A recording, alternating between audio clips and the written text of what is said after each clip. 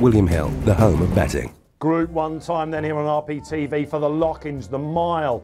We've seen some scintillating performances in this over the years. Remember Hawk Wing all those years ago, my goodness gracious me. Despite the fact we've got 18 runners, a bumper field, an injection of prize money to 350 grand, it's not the classiest Lockinge you'll ever see. And I really think that Cream will rise here with Night of Thunder having his first run for the boys in blue, still with Richard Hannon. James Doyle taking over. How many times did he clash against him, James Doyle, with Kingman? If Kingman was in this race, he'd beat absolutely no price whatsoever. Night of Thunder should have won on his, uh, on his sort of sign-off at a race at Ascot on Champions Day. They got the tactics totally wrong. He's drawn low, but it's pace around him, notably Custom Cut, who I think has got a bit of an each-way chance as well. But uh, I'll be amazed if he doesn't pick him up late on. The more he drifts, the more I like him.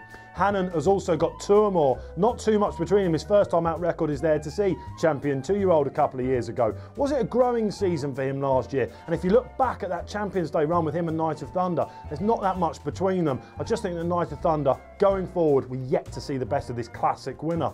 Integral down the bottom, Stoute's record in the race. Cheveley Park's record in the race. Just whether she's going to be ch cherry ripe first time up. She was beaten at Newmarket on her return. She can be buzzy. She can be keen. Let's go for Night of Thunder to prove his class.